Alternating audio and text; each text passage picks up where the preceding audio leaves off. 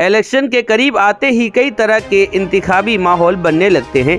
कई तरह के राजनीति पार्टियाँ अपने अपने नए ऑफ़िस का उद्घाटन कर लोगों को करीब लाने की कोशिश करती हैं। इसी कड़ी से जुड़ते हुए 25 फरवरी को बालासोर के कचहरी रोड पे ऑल इंडिया तृणमूल कांग्रेस का लाजवाब ऑफ़िस का इफ्तिताह किया गया। इस मौके पर टीएमसी सरकार के वज़ीर श्रीकांत महाता ने शिरकत की और रिबन काट कर तृणमूल ऑफ़िस का उद्घाटन किया।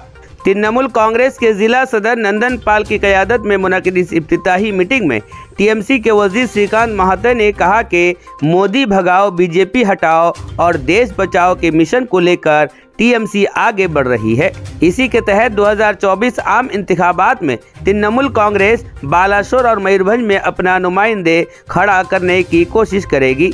इस मौके पर टीएमसी के जिला सदर नंदन पाल जिला नायब सदर शाहजहां शाह शेख रहमत सुनीता पाल राजेंद्र जेना रघुनाथ महालिक और प्रोफेसर अंजना महतो के साथ सैकड़ों टीएमसी के कार्यकर्ता मौजूद रहे। कैसा रिज़ल्ट होने वाला है हमारा भाजपा का एंटी और तृणमूल का संगठन विस्तार के लिए यहाँ सो पार्टी खड़ा करेंगे और पार्टी खड़ा करेंगे और जिताने के लिए हमारा प्लानिंग करेंगे। और लोकसभा इलेक्शन और विधानसभा इलेक्शन उड़ीसा में दोनों एक साथ में हो रहा।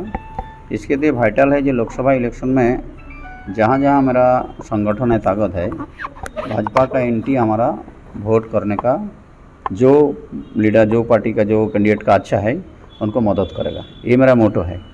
और जहाँ से हमारा विधानसभा इलेक्शन में पहले लड़ा उन्नीस साल में और बात में, इनको थोड़ा कुछ मदद करेगा। और मोटो हमारा विचारधारा जो है, ममता दी का विचारधारा है, तृणमूल कांग्रेस का विचारधारा जो है जहाँ जहाँ ये विचारधारा स्प्रेड करने के लिए, आम आदमी का विकास करने का, आम आदमी का खाना वाना हेल्थ एजुकेशन डेवलपमेंट बंगाल में जैसे डेवलपमेंट हो रहा, सब प्रकल्प लेके तो इसके लिए उड़ीसा में हमारा यही काम करने का, आम आदमी के पास जाने का विचारधारा देने के लिए जाएगा। तो ओडिशा में कितने सीट में लड़ने का तैयारी चल रहा है? तो बाद में डिसीज़न करेगा। पार्टी हायर पार्टी जो है लीडर रहे उनको डिसीज़न करेगा कितना सीट में लड़ेगा दस बीस पचास कितना लड़ेगा उनको डिसीज़न करेगा। तो हमारा है लड़ेगा। कोई नहीं बीजेपी के खिलाफ बोलेंगे या बीजेडी के खिलाफ बोलेंगे? देखिए उड़ीसा में विधानसभा जो चुनाव है बीजेडी और बीजेपी जो दो एक हो जाएगा तो इसके लिए दोनों के खिलाफ लड़ेगा। और जो तो मेरा साथ रहेगा उनको साथ तो हमारा बीजेपी के खिलाफ ही लड़ेगा।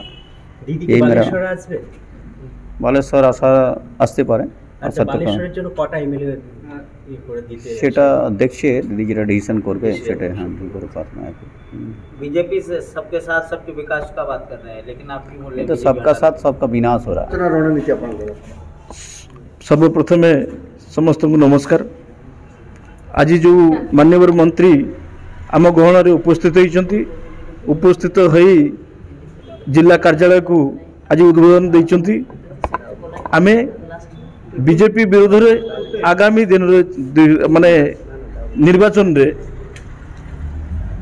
ବିଜେପି ହଟିବ ଦେଶ ବଞ୍ଚିବ ଇଏ ଆମର ନାରା ରହିବ ଏବଂ ଆମେ ସଂଗଠନକୁ ଆଗକୁ କେମିତି ସୁଦୃଢ଼ ସୁଦୃଢ଼ କରିବୁ ତାର ବ୍ୟବସ୍ଥା ଆମେ କରିବୁ କେତେ ନିର୍ବାଚନ ଅ, ମଣ୍ଡଳୀରେ ଆପଣମାନେ ଟିକେଟ୍ ଦେବେ ଜିଲ୍ଲାରେ ତା ଉମ୍, ନିର୍ବାଚନ ତ ଆସିନାହିଁ ଡିକ୍ଲେୟାର ତ ହେଇନାହିଁ ତ ଉପର ନେତୃତ୍ୱ ପାଖାପାଖି କେତେ ଜଣ ନିର୍ବାଚନ ଲଢ଼ି ପାରନ୍ତି ସାର୍ ଆପଣଙ୍କ ଜିଲ୍ଲାରେ? ସାର୍ ତ କହିଗଲେନି ଯେ ଦୁଇଟା ଜିଲ୍ଲାକୁ ଏବେ ଗୁରୁତ୍ୱ ଦିଆଯାଉଛି ଦେଖାଯାଉ କୋଉ ଦିଟା ଜିଲ୍ଲା? ବାଲେଶ୍ୱର ମୟୂରଭଞ୍ଜ କେତେ ସିଟ୍ରେ ଲଢ଼ିବେ କେତେ ସିଟ୍ ମାନେ ଏବେ ତ ମେଣ୍ଟରେ ଆମେ ଅଛୁ ମେଣ୍ଟ ଆପଣମାନେ ବି ଜାଣିଛନ୍ତି ମେଣ୍ଟରେ ଆମେ ମିଟିଂ ବି କରିଛୁ ଜଣାଯାଉଛି ଆଗକୁ କ'ଣ ହେବ ଆପଣମାନଙ୍କୁ ନିଶ୍ଚିତ ଆମେ ଏ ଜଣାଇବୁ ଦୁଇଟି ଜିଲ୍ଲାରେ ଆପଣଙ୍କର ସଂଗଠନ ସ୍ଥିତି ସେମିତି ସୁଦୃଢ଼ ନାହିଁ ଯେଉଁ ଦଳମାନେ ଅଛନ୍ତି ସେମାନଙ୍କ ସହିତ ଆପଣ ଫାଇଟ୍ କରିବାକୁ ହେଲେ ଆପଣ କେଉଁ ଏଜେଣ୍ଡା ନେଇକି ଯିବେ ବୋଲି ଭାବୁଛନ୍ତି ଆମେ ଯେହେତୁ ବର୍ତ୍ତମାନ ଇଣ୍ଡିଆ ଗଠବନ୍ଧନରେ ଅଛୁ ଯେହେତୁ କଂଗ୍ରେସ ବି ଆମ ସାଙ୍ଗରେ ଅଛି ସବୁ ଦଳ ଆମ ସାଙ୍ଗରେ ଅଛି